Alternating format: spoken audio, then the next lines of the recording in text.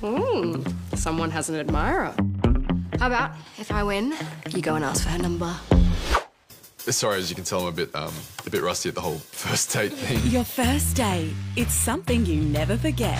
I'm still talking. There's nothing to be nervous about. Yeah, How bad can it be? Is everything okay? I don't know.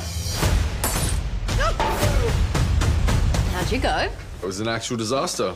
Will their first date Thanks for dinner. It was um certainly one to remember. be their last? Bye, Xander. Home and away next week on 7 and 7 Plus.